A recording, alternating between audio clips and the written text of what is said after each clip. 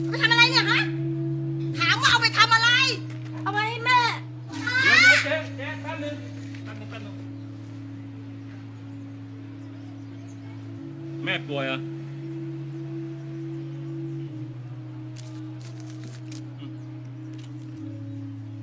อย่าทำอย่างนี้อีกนะหมวยเกาเหลาอ่า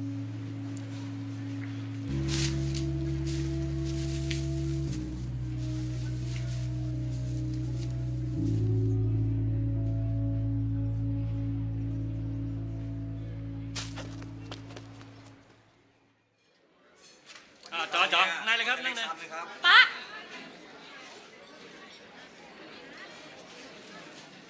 อะจัดไป อ้าว สั่งมาเร็วต่ออะไร